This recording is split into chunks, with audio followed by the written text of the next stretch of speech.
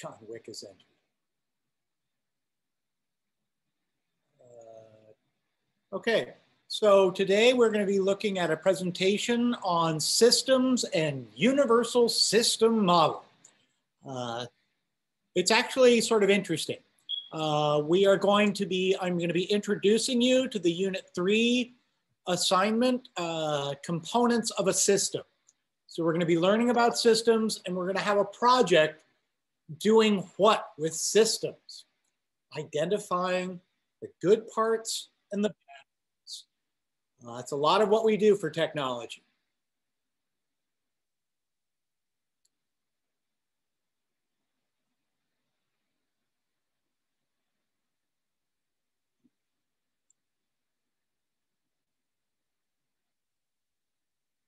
Hmm.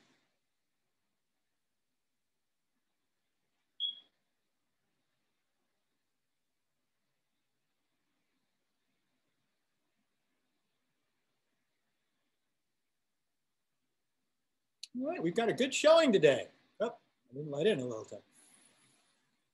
All right, so what is due is our warm up. Uh, unit two, impacts of technology, society, economy, and environment were due. Um, so that's our, our project looking at the labor saving device. Um, I have some exciting ideas about labor saving devices. Um, and Leslie. So good to have Leslie with us.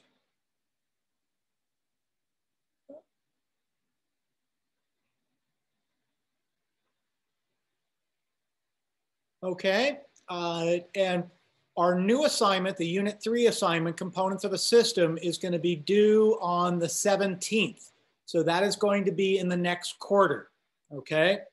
I think I'm actually going to put our quiz into the next quarter too, not our quiz quiz, our vocab uh, for components of a system. Uh, we have a mandate to try and reduce the number of assessments, et cetera, to try and improve your mental health. Uh, so the fact that we do mostly assessments is a little problematic. Um, because our quizzes and our projects are both assessments, just our warm-ups are uh, practice prep. Uh, when is Q2 over? Q2 is over January 29th, I believe. Uh, the interim is the 15th. That is next Tuesday. So what this means for us, so here in our scheduling, so let me first say that our next assignment, we're gonna have about 10 days to work on. That will put it in the next quarter It'll let us think about this and have a little fun. I'm hoping everyone had a little fun dreaming up your invention that saves 10 times the labor uh, on whatever it was you decided. I've started thinking about these and I came up with a bunch that I think would be really fabulous and fun. Um, so if you have had trouble coming up with an idea, I think I'll brainstorm a little at the start. Okay, Interims, interims, uh, I could put this on here, are the 15th. That's when my grades are due. That means that your any late assignments are due by Friday. Ideally, get anything that you need to get in by Friday. I have sent progress reports to you and your, your parents. Uh, if you are in danger of failing, which quite a few people are, Remember, our vocabulary, do assessments to get your grade up. Uh, warm-ups are great, but they are, they're only worth 10% of your grade. So assessment points are worth nine times as much to your grade. Do your vocabularies. Those are easy. You can look in the presentation for the words. It's not hard. You just need to find a picture to put in there, okay?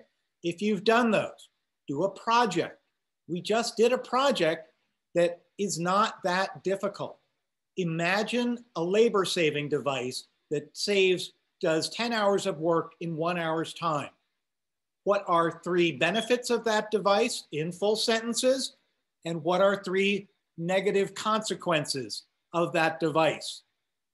That's all you got to do, 20 points. uh, that is going to really help your score. That will probably get you passing. Um, so while I'm on this, I had the idea what if you could clean all the glass windows on a skyscraper in a tenth of the time? Create some crazy device that cleans the windows 10 times faster.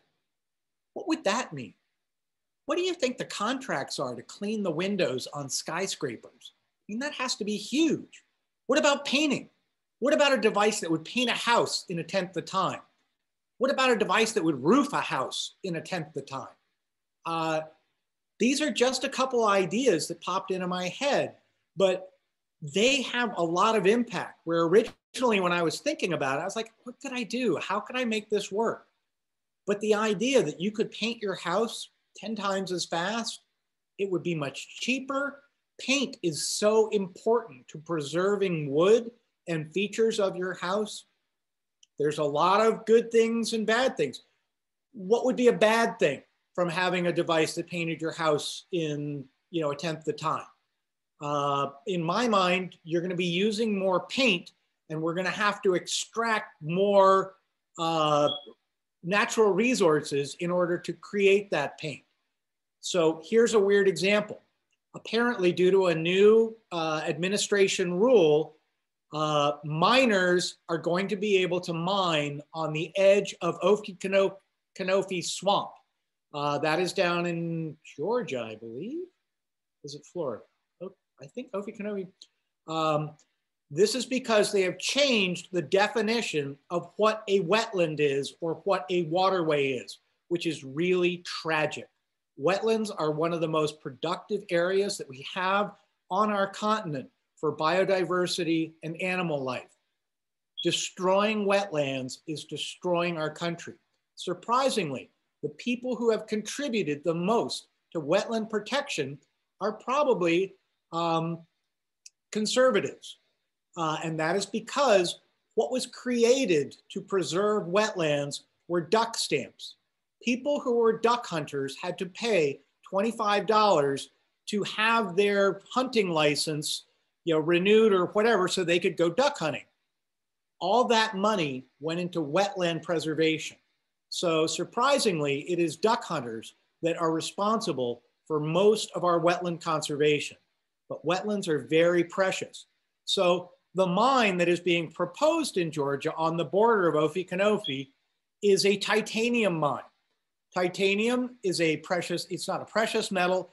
Uh, it is relatively rare and it is a big component of white paint. I know because I lived in LA and I have come across a truck that rolled over carrying titanium white. It's when I decided that coffee whitener is probably made out of titanium white because uh, it looks very much like coffee creamer. All right, that's enough on that. If you haven't done that last project, get that in. Also, for our project that is due the 17th, focus more on projects that were due in this quarter. That one is going to be due in the next quarter you will have time to make that up or pick that up. Um, any assignments from this first this first half of the second quarter, please get them in. I need to, I need, I have a deadline for Friday because I need time to get everything reviewed, organized, and into the system. As we know, there are issues sometimes between Canvas and Synergy. Our objective today is that you will recognize the difference between open and closed loop systems, determining the costs and benefits of closed and op uh, of closed and benefits. That, that's pretty bad English. Um, I was trying to say determining the costs and benefits of closed and open loop systems. That's what that's supposed to read. Defining system thinking. Okay, uh, let's get into our presentation. So, oh, hang on, let me just show you a couple things that are in the module. Um, well, actually, let's, uh, hang on. Let me show the module. There we are, and you're seeing it. Let's do the warm up, but I just wanted to say, so here's the vocab quiz. This is probably dated wrong. I need to adjust this date. I'm gonna make this This vocab quiz is actually going to be part of the next vocab quiz that we do. I'm going to put two together because we need to reduce the number of assignments. Um, so uh, what is in here is the unit three assignment, the components of a system. We'll go over that. There's a video on open and closed loop systems that we'll watch. Uh, let's do our warm up. I will call on someone for this. I have my beautiful random calling app now.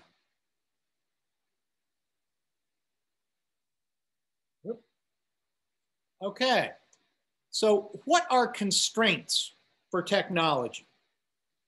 Okay, that's our big question. What are constraints for technology? All right, I'm gonna call someone.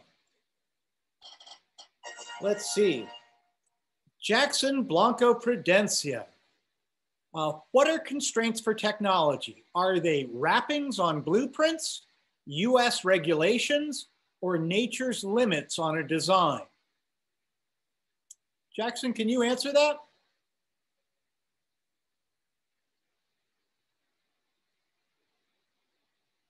Jackson? You might not be able to hear. Or catch all. Uh, hang on, I'm just gonna see. We Jackson's here. Uh, okay, let's try another. Ramon Nelson. Oh, actually, I know Ramon isn't here.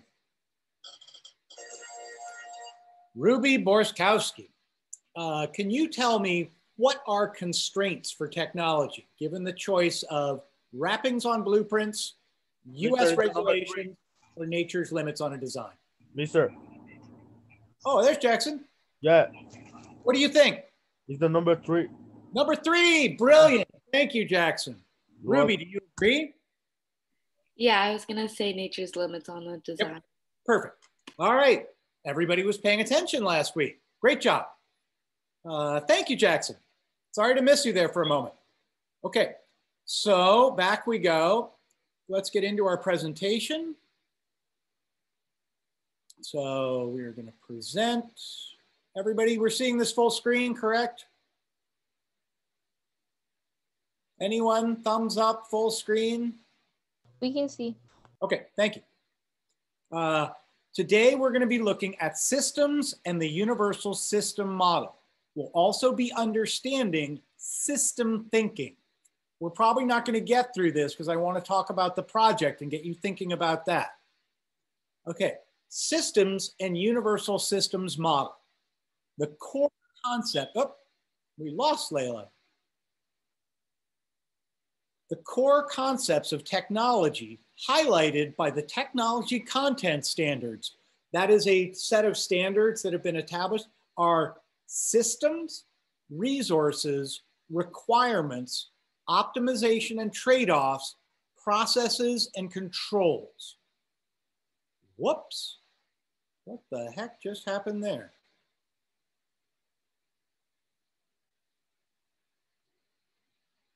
Wow, that was interesting. Chrome just sort of blew up for a moment. All right. Um, this lesson will focus on systems and the universal systems model, thus opening the door to systems thinking. I want to go over this core concepts of technology highlighted by the technology content standards are these are the fundamentals for creating technology. You need to understand systems. You need to understand resources. You need to understand the requirements for whatever you're building. Those will be both techno technology design requirements and engineering design requirements, right? So those can both go in there. Optimization and trade-offs. So this is where I was talking with the class before about you know, an interesting idea uh, for optimization and trade-offs. Optimization and trade-offs is when you are in that research and design mode. You're researching, you are thinking about how you're going to create a better product. So, what was one thing? This would have been back in probably the 90s, early 2000s. What was one thing that was holding back development of smartphones? Hang on, I'm going to actually turn off my background because it just causes trouble if I'm showing you things. Okay, hang on. Oh, now where you can actually see me. we need a little hair and makeup. All right. Uh, so with the cell phone, what was one of the major things that companies trying to make them needed to overcome in the design process? Can anyone think of what was one major hurdle? And I will say you are looking at it right now on my phone. What's the problem with the smartphone? Where do you keep it? You can put it in the chat or sing out. Where do you keep your phone typically? I keep mine in my front pocket. Okay, what also lives in my front pocket? Anybody? What do you keep in your front right pocket? That's where I put my phone. I have keys. What's that? Oh, I don't really have pockets that can hold stuff. So, All right. Keys. Yes, Nestor has added my critical ingredient.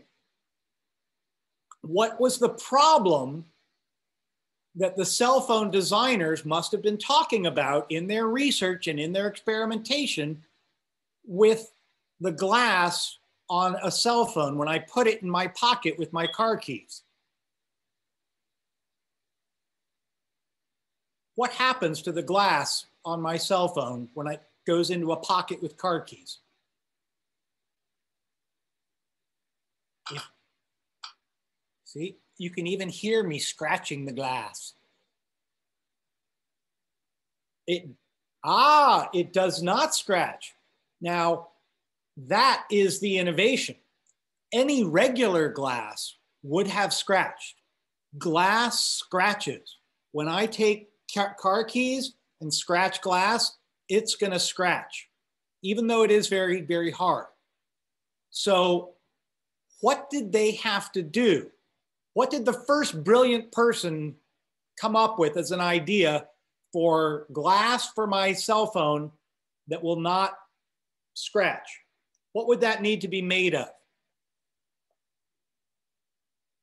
If I didn't know any better. If I, if again, if I'm a technologist, right? I'm a tech designer. I'm going to make the glass in my cell phone be totally scratch proof, but it hasn't been invented yet. So, what's my thought for what could I use to make a clear sheet that would not be able to be scratched?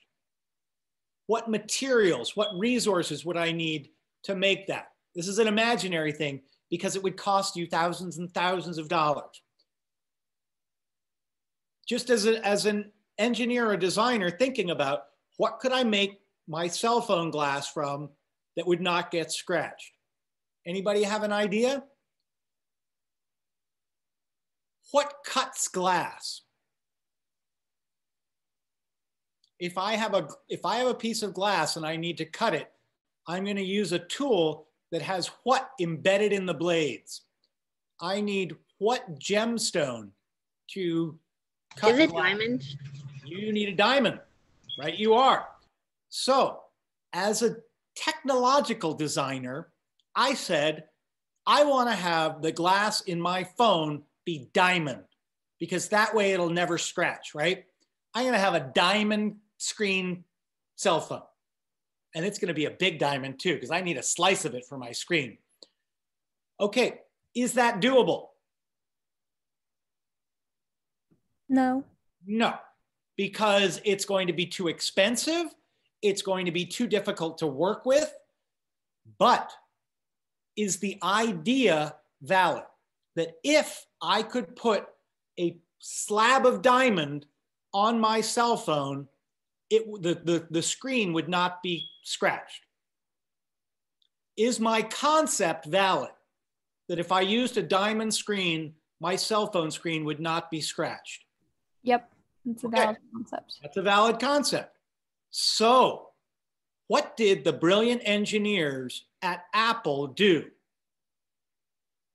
to figure out how to optimize the glass in their iPhone? They had to make trade offs for that optimization. Initially, we say diamond glass, we're not going to be able to make diamond glass. All right. Diamonds are too expensive.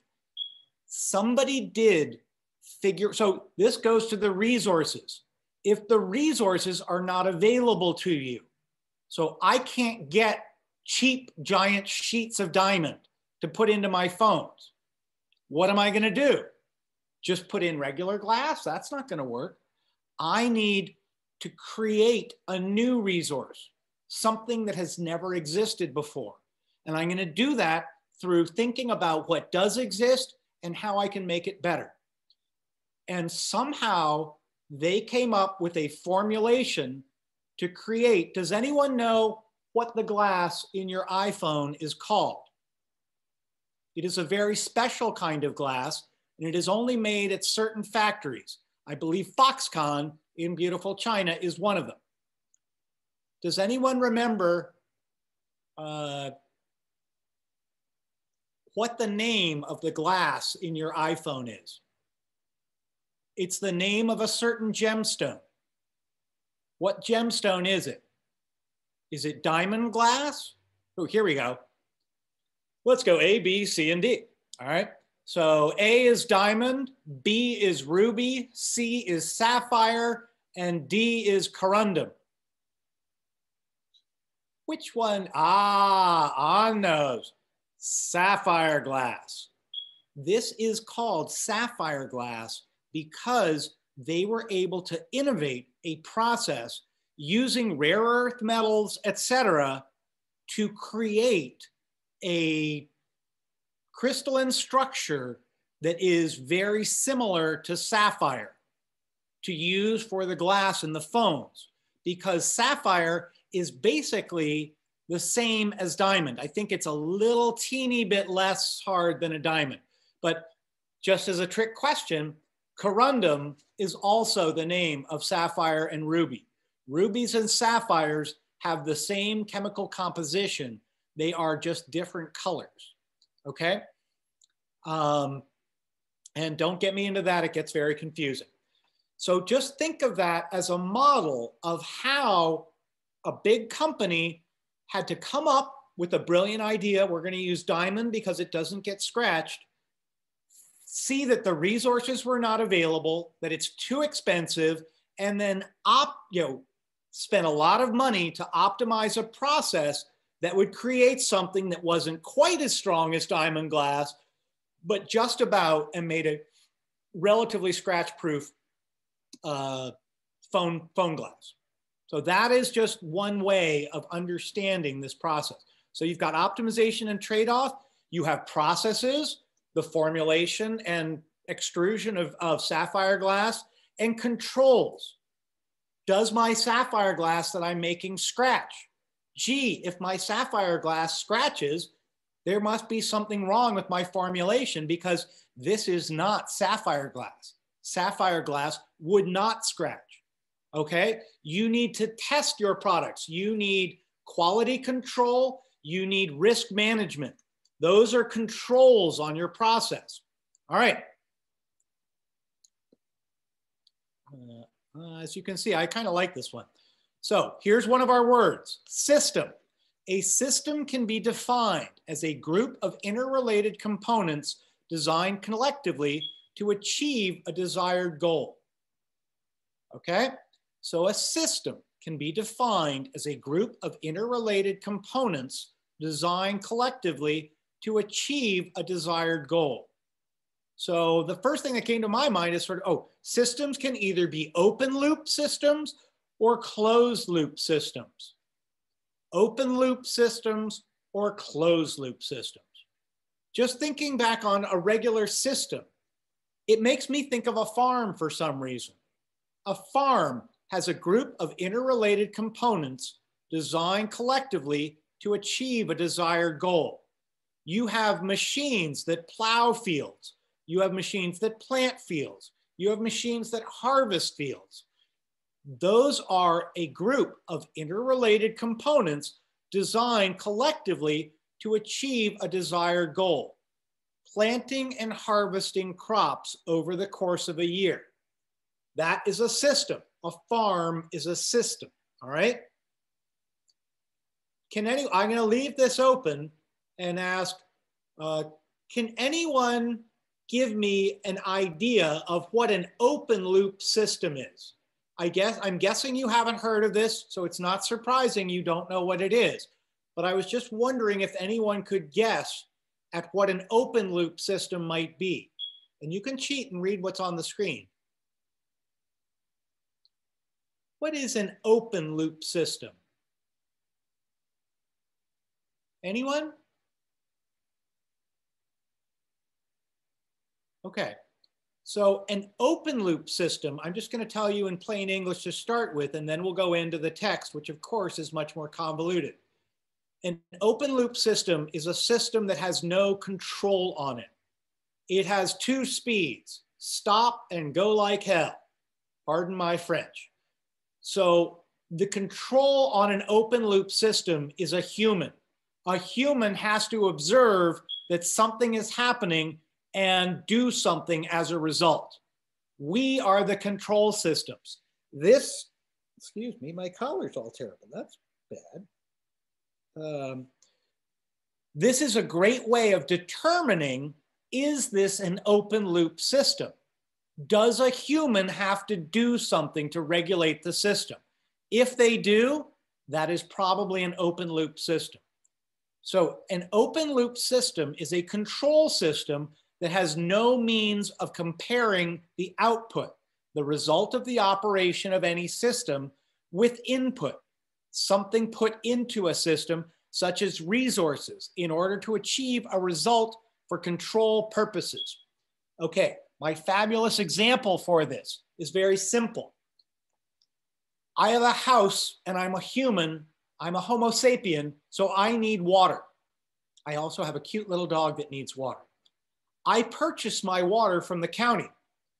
The Montgomery County has a water system and they put a pipe into my house with water. That is my input, okay?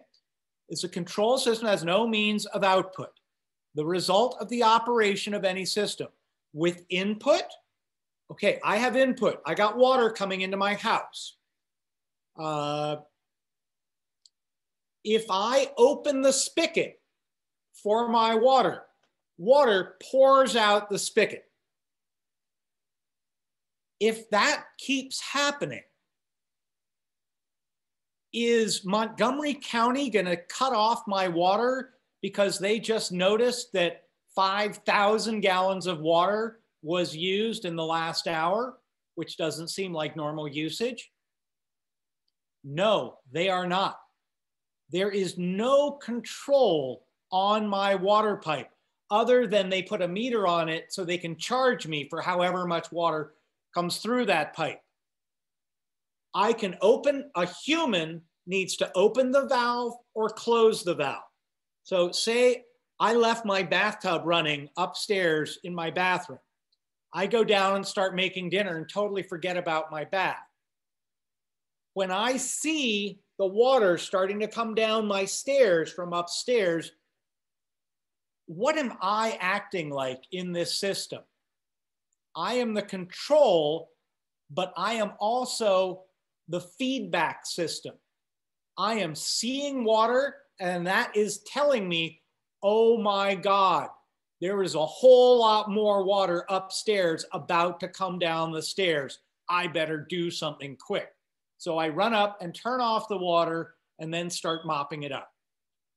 Control of open loop systems requires human intervention. An example of an open loop system is a microwave that requires a person to determine if the food has been heated to the required temperature. How do you do that? I put a big bowl that I had in the refrigerator in the microwave and I nuke it for a minute. Do I want to eat it right now? Or what do I do? What do you do when you heat up a cold bowl in the microwave? Can anyone tell me?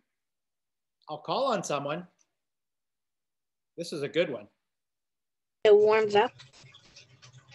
But if it just came out of the refrigerator and I only turned the microwave on for a minute, what's what's the problem with that bowl of food? It's still gonna be a little bit cold. Right. So I gotta like stick my finger in there and see, is it still cold in the middle? Ooh, it is. I better put it in for another two minutes. I am the feedback loop. So the microwave, it, it, like I said, microwave has two speeds. Well, you can apparently adjust it to a lower power setting, but nobody ever does.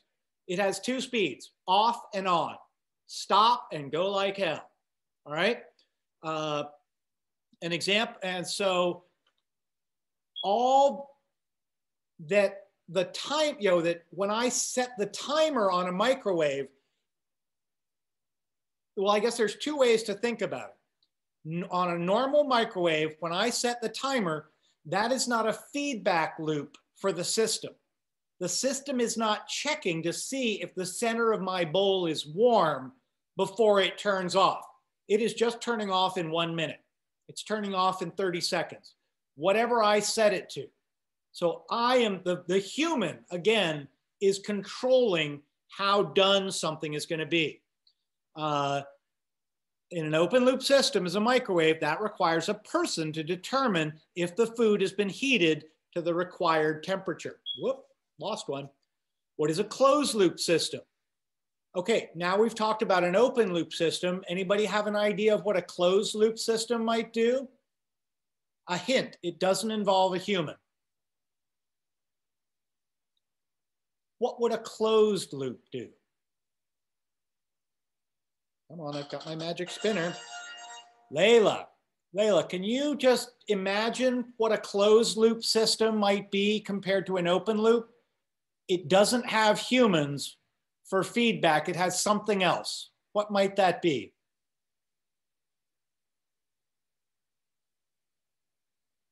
Layla?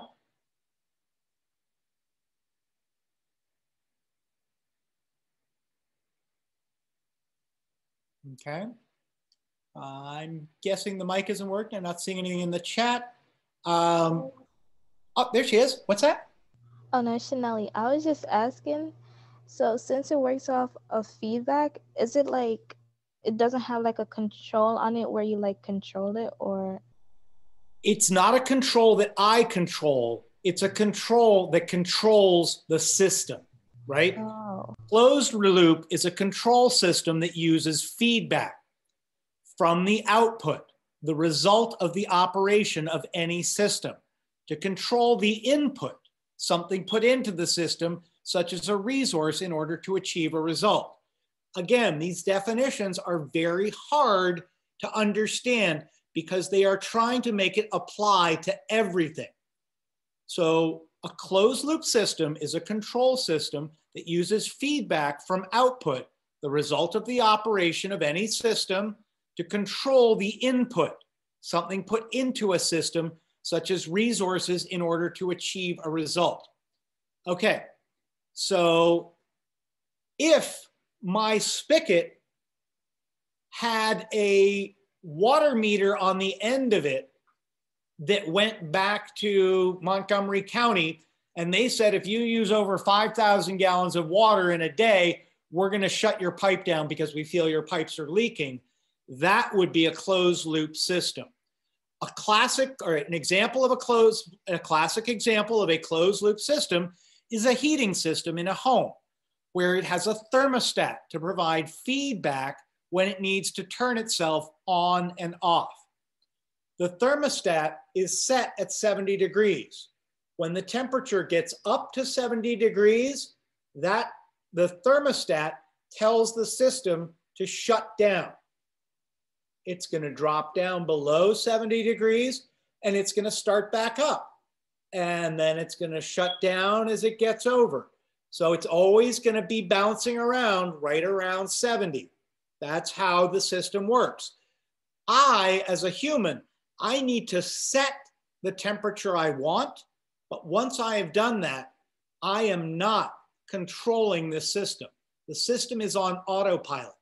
The system is doing it all by itself, okay? So why is system thinking important? Okay, here's another fun one. You're not gonna know this answer, so do not feel embarrassed.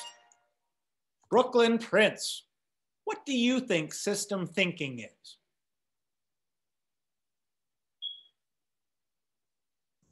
Maybe like um I don't know. All right, no, no, you're not supposed to. System thinking is a weird thought, but just look at it literally. What do you think that's saying? Systems thinking is thinking about what? Systems? Systems, you got it, 100%. Yes. Don't shy away from George Washington's white horse. Systems thinking involves considering how every part of a system relates to others for a common purpose. Systems are used in a number of ways in technology. Systems thinking involves considering how every part of a system relates to the others for a common purpose. Now, one of my fun things as your teacher is that I have a lot of real world experience. I have not taught all my life. I have worked in other industries. I actually have a PMP certification. I am a project management professional. PMPs are people who manage large projects like construction projects, building a bridge, digging a tunnel, uh, creating, you know, Microsoft Word. Uh, these are all big projects and they need to be managed. When I am working on a project, you need to lay everything out in a way that every step dovetails with the next step and everything works like Swiss clockwork. So if I am building the foundation of a building and it has conduit that electrical cables are going to have to go through, I do not want to have my electricians arrive on site to, fit, to put the electrical wires through the conduits in the, the foundation before my foundation is laid. I need to have the cement workers come first, lay the cement foundation with the conduit in it. Then once that's cured, then I have my electricians come and put that in. But I have to understand that. I have to understand that the day after they lay the cement, the workers can't arrive because it takes a little time for cement to cure. I have to be aware of every single piece of the entire system that I am building. So I am system thinking. I am trying to think of how are these different systems interrelated? How are they going to work together? How are they going to complement each other? Ideally, the system, the design that I am coming with, every system is going to work perfectly with every other system that's going to work really well on paper until we try and get out in the field and do it. Because uh, then the plans change. Systems are used in a number of ways in technology. A system is an arrangement, pattern, or design of parts which interact with each other within the system's boundaries, form, structure, or organization to function as a whole. So something I think of here when I was reading this is not sort of the clockwork over here, but the idea that a car motor is a system.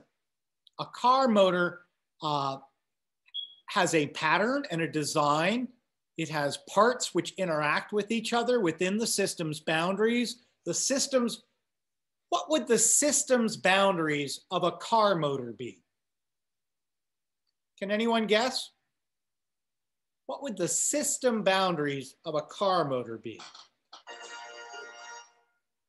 Schnell, you get to answer. What do you think the system boundaries of a car motor are? I'm not sure. All right, the car. That's Oh. all I'm thinking. And again, this is not technical, but if a motor is part of a car, right?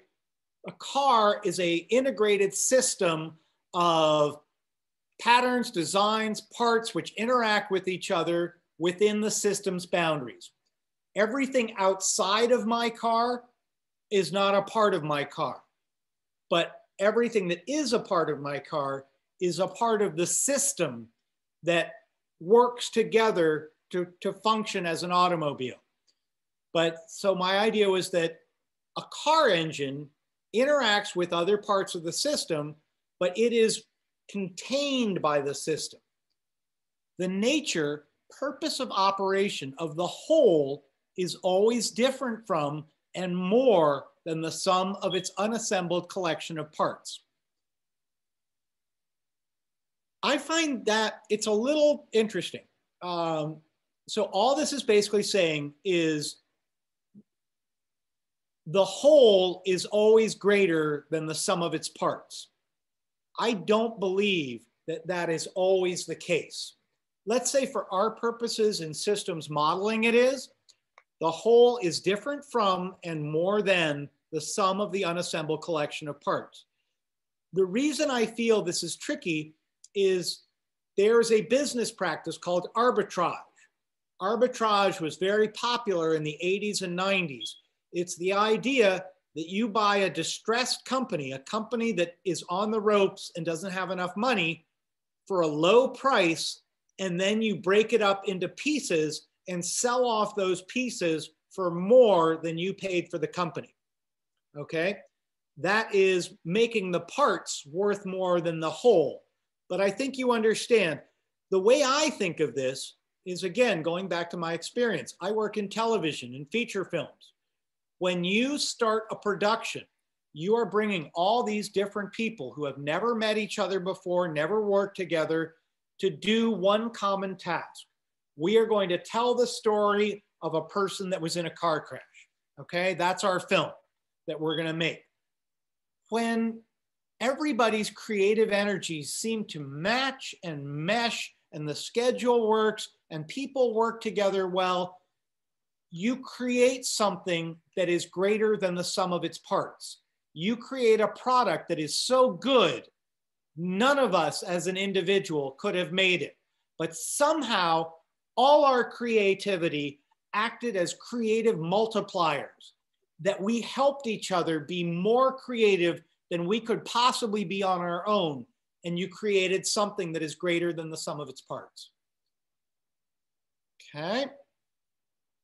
So knowledge of systems is a path to better understanding of how Mother Nature and human nature work. This is out in California, I believe, Big Windfield. Technological systems include input, processes, output, and at times feedback, depending on if it's a closed or open loop. The input consists of the resources that flow into a technological system. The process is a systematic sequence of actions that combine resources to produce an output, encoding, reproducing, designing, and propagating, for example. The output is the end result, which can have either a positive or negative impact. Output is just output. The feedback is information used to monitor or control a system.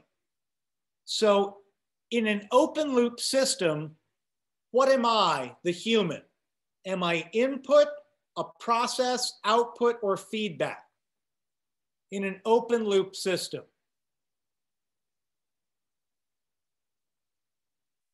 Anybody? I am the, oh, go ahead. Um, the feedback. Right, you are. Brilliant. I am the feedback. I am the one that has to adjust the system if it's putting out too much or too little or the toast didn't turn out right. Open loops need a human. Closed loops have something like a thermometer that is measuring the output of the system and providing feedback back into the system. So let's think about my heating system. I buy gas again from beautiful Washington Gas. That is my input. I have a gas line coming into my house.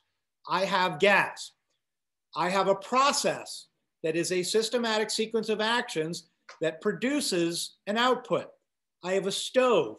When I turn the knob to the right, the stove has an igniter and it ignites the gas and creates a flame. My flame produces heat. That is the output of my gas that I'm using. I am burning my gas to make heat so I can heat a pan. The feedback in this system is me. I need to turn the knob. I need to turn the knob back off. If I turn on the knob and it doesn't light and my house fills with gas, I'm going to die. The system is not going to shut off the gas for me. Okay? So, systems and universal systems model. A technology system is a combination of materials, devices, structures, information, and energy working together to solve problems and extend human capabilities.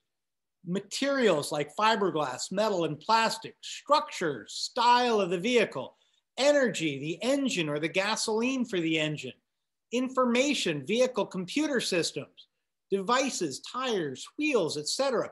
These are all part of a technological system.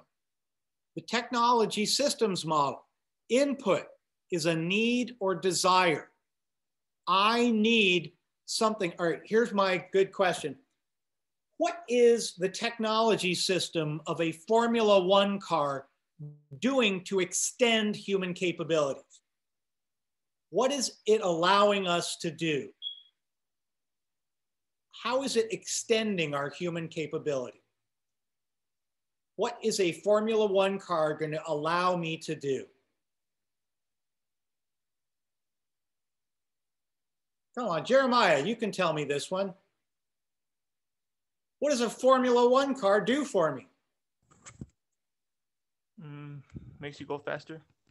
Makes me, allows me to go fast. I want to go fast.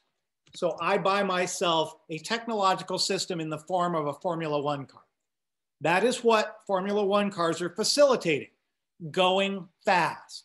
We as humans can go fast when we run. We can't run like a Formula One car. Okay, so input, need or desire, want to go fast. Process, we combine resources.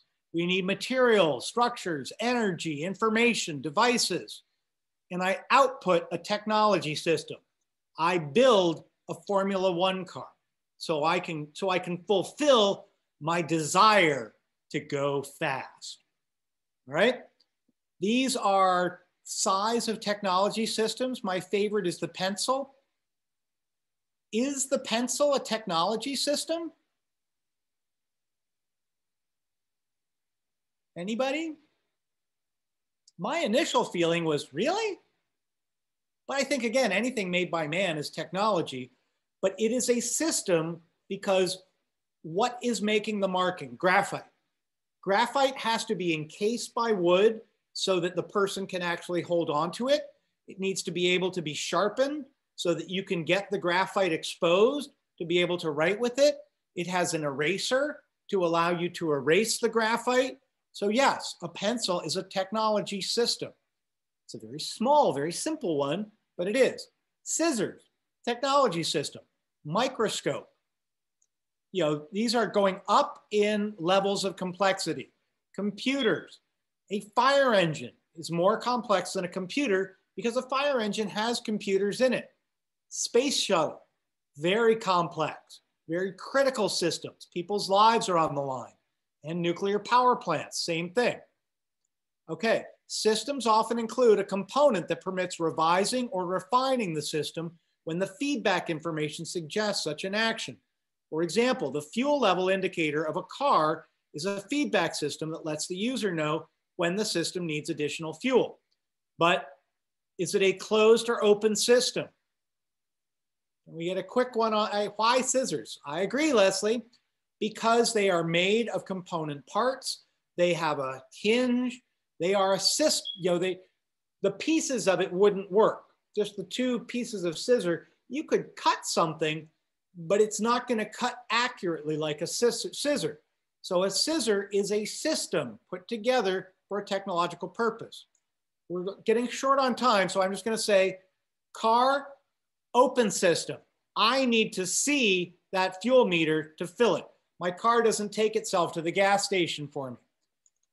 The stability of a technological system is influenced by all the components in the system, especially those in the feedback loop. Cruise control in an automobile, for example, automatically detects and controls the speed of the car.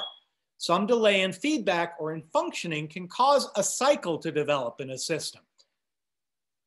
We're gonna stop here, but no, cruise control is interesting because cruise control only limits the accelerator.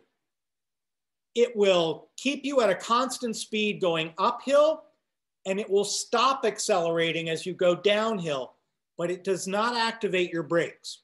It does not actually keep your vehicle only at 30 miles an hour. When I am going down a hill with cruise control, I can go 35, I can go 40. But that's because the feedback system is not controlling braking. All right, I want to take a moment and uh, quickly go over our project and then look at this video. Okay, so here is our project. We're gonna have 10 days, so we've got time for this. Determine the components of a common communication system. These systems are called communication systems. The universal systems model includes inputs, processes, outputs, and feedback. Identify the inputs, processes, outputs, and feedback within the systems given below. Then discuss how feedback is essential to the closed loop system. List the subsystems that might support the operation of the overall system. The definition at the bottom of the document could be a help, or look it up. In the table below, describe at least one example of how a given communication system uses the universal systems model. So here we have automatic lawn sprinklers. Uh, what is the input? What is the process? What is the output? Okay, describe why feedback is not essential. List the subsystems. Next, a closed loop system, home furnace heat system. What's the input? What is the process? What is the output? What is the feedback in this system? Describe why feedback is essential in the systems model. List the subsystems. What support of the operation of the overall system? That support the, so a subsystem is a self-contained system within a larger system, an independent system that supports the operation of a system. We're running short, so I'm just gonna say, for this project, you can use the automatic lawn sprinkling system as your open loop and the home furnace system as your closed loop if you find another system you think would be more interesting to work on, I am all for that. You might, if you're confused as to whether it is an open or a closed loop system, um, you can ask me. But the typical thought is, does a human have to control it? If a human has to control it, it is probably open loop. If a human does not have to control it, it is probably closed loop. Okay? Now we're gonna watch this video and we're gonna be done. Okay, let me get this going. Let's go to our kitchen and see how you can use feedback control to toast bread perfectly. You put a slice of bread in the okay. toaster. First question, toaster, is that closed or open loop system? You can put it in the chat. Come on, it's 50-50. I'm not going to ding you for getting something wrong. Do you have to do something with a toaster? Yes. Yes. Thus, which system is it? Open. Perfect. All right. Set its timer level and then turn it on. Depending on how long you toast the bread, you can get different colors. But you don't want just any color. You want to start your morning with this crispy, yummy toast. There are two reasons this might be hard. If it's your first time using the toaster, you don't know how long to toast the bread. Or assuming you do know how long to toast it, next time you might open the fridge and find a bagel or frozen bagel. These are variations that you may face, but regardless of these variations, you will still want to make perfect toast. So what if, instead of toasting the bread based on a timer setting, you toast it based on its color? But how, you might wonder? If you continuously monitor the color of the bread, you'll know when exactly to turn off the toaster. This is the basic idea behind a feedback control system. Let's try this on a slice of bread and a frozen bagel. You turn on the toaster and start monitoring your bread. When the toast reaches the color you want, you turn off the toaster.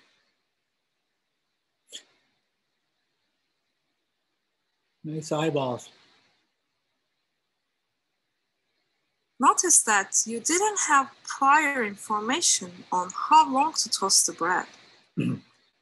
Monitoring them allows you to tell when they have reached your desired color, so when to turn off the toaster.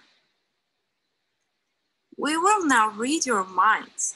Don't worry, it's not to hack your accounts or anything, but just to reveal the complete feedback control structure. While you are monitoring the bread, you draw a plot in your mind. On the y-axis, you have the bread color that you're watching, and on the x-axis, you have the time. This is what you want. Then you start toasting, and this is what you see. At each time instant, you compute an error between what you see and what you want. If this error is not zero, you keep toasting.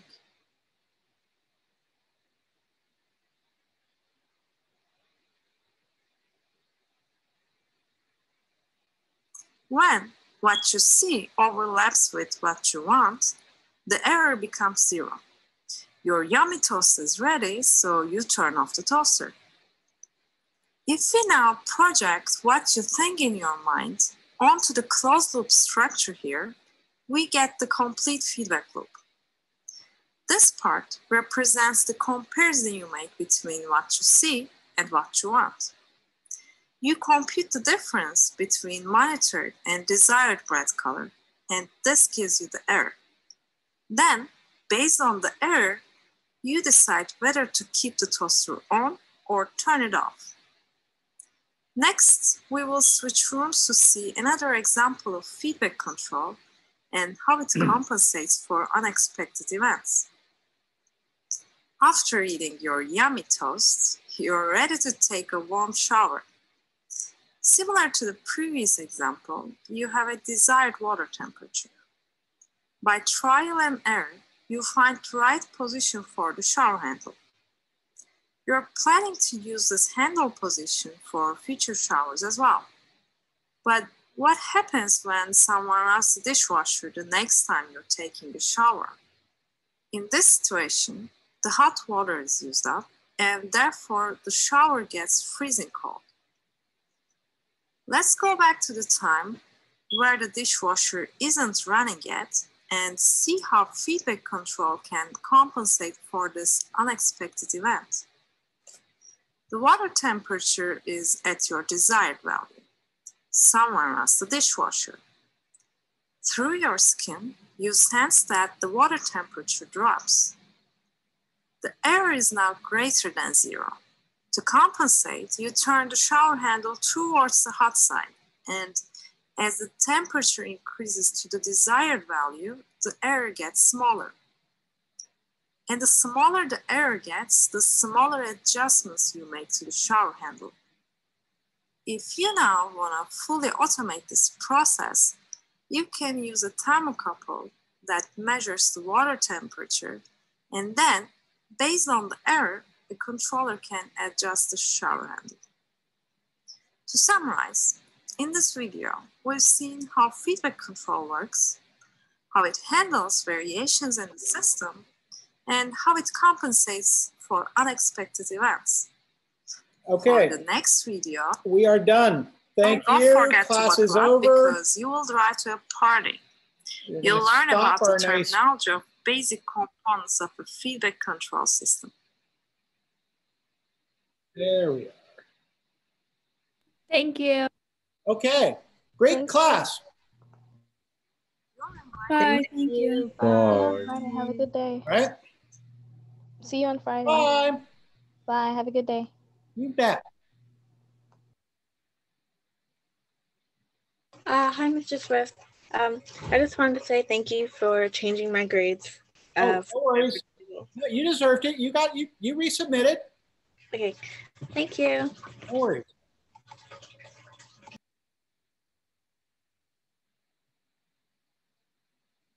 Jackson? Beverly, can I help you? Jackson? Beverly?